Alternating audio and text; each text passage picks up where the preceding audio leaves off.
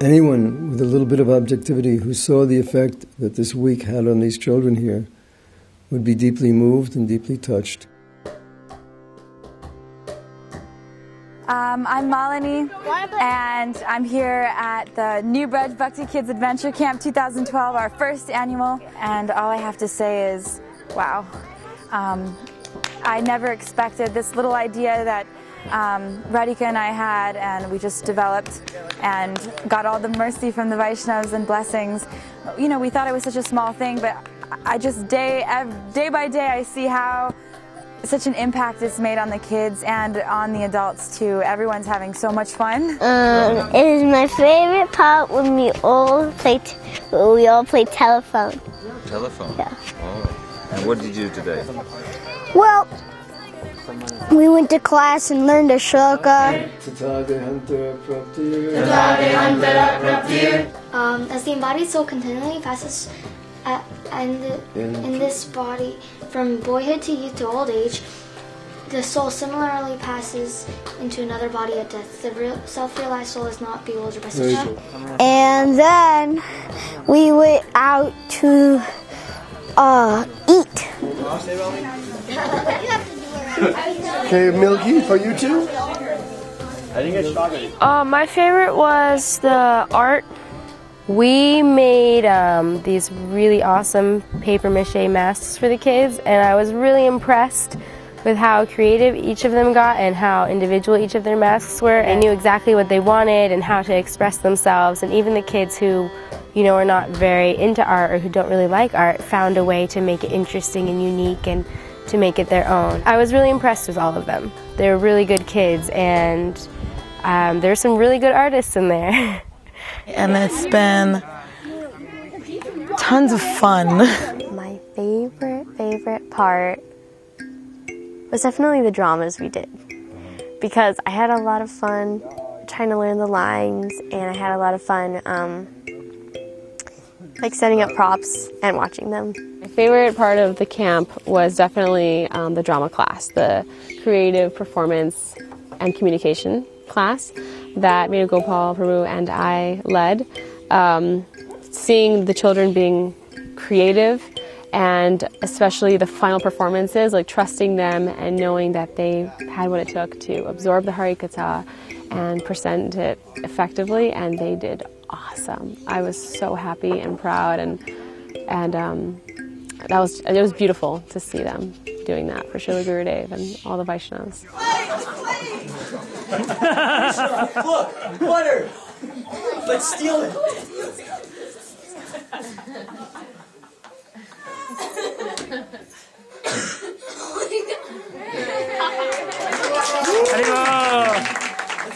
Let's take the tree for example. A tree? Why a tree? Well, the tree gives shelter to everyone. People come and lie under it all day, and then sometimes they grab at its branches, take its fruits, flowers, leaves, but the tree never complains.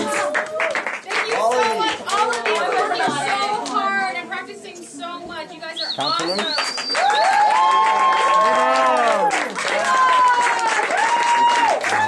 I learned how to write plays and perform them in a short amount of time, Uh-huh.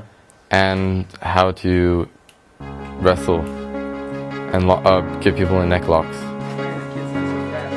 Boom, boom. No, the girls are pretty fast too. Nice. Oh, ready?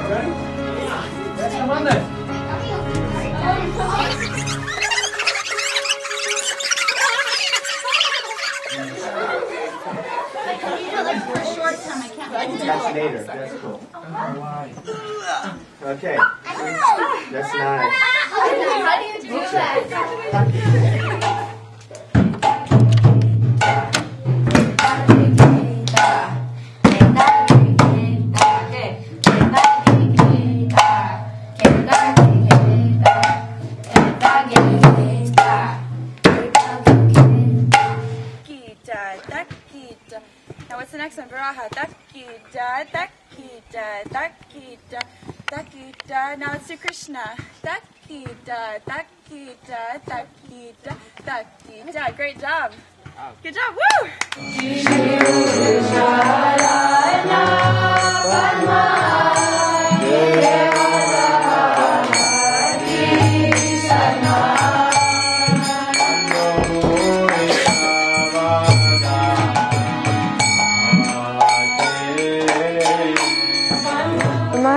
Talked about why the devotees dress they do and why they wear tulsi beads and wear tilak. I really, really liked that because it kind of gave me things to back up.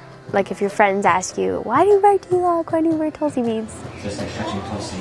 That's one of the reasons why we wear Tulsi, is because we want to offer ourselves to Krishna. So we put Tulsi on, so Krishna will accept. It kind of gave me some information to back that up and um, and kind of stand behind my faith. I watched one little girl, one little girl's self-esteem sky through, skyrocket through the roof, and that was absolutely amazing.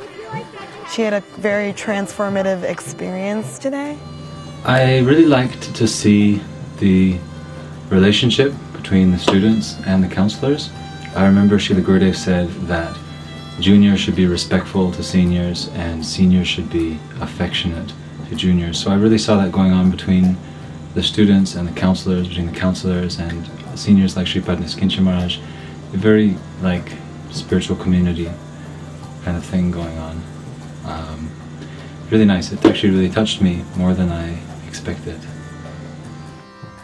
And to see the amount of growth in the kids in just one week was so powerful. And to see that and know that they're the next generation who are going to be continuing Srila Gurudev's legacy and bringing it out into the world was really inspiring for us and made everything worth it. you never stop being a child you know like that's why krishna i believe he's a child he just when you're a kid you only want to have fun and just be yourself no shame They just bring enthusiasm to my spiritual life. They make me be like, oh, I want to be, uh, uh, I want to try harder. I want to be more enthusiastic, and then you just bring happiness. You know, I, I like to be very real with kids, and uh, and then in the same, they, they reciprocate that love and they show you the same thing. i learned that you know like that part of the kid you have inside is bringing back to life again The most um, inspiring aspect has been seeing how we have a new generation of devotees who have grown up and are taking responsibility. Um, Malini and Radhika and some of their other friends and supporters have done such an amazing job in taking responsibility for the children who have attended this summer camp. In the early days when we did a school, um, we learned what works and what doesn't work. And all we saw from these devotees is really what works. The new generation uh, is coming up, and they're they're brilliant. You know, they're so geniuses, and it's so fun to watch them. Uh, their brains actually like grow right in front of us.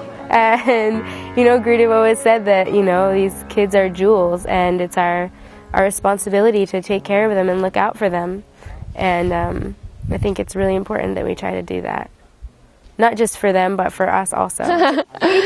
Get out here. These are one of the beautiful children. Come over here. one of the beautiful children, Giridhari. He is a prize gem. and this is my beautiful, this is the main head person, principal, and she's been working so hard. So the relationships, my favorite part of this camp are were the relationships we made. This is Atula Nanda. And he's he's so awesome and so smart. This is Chanda.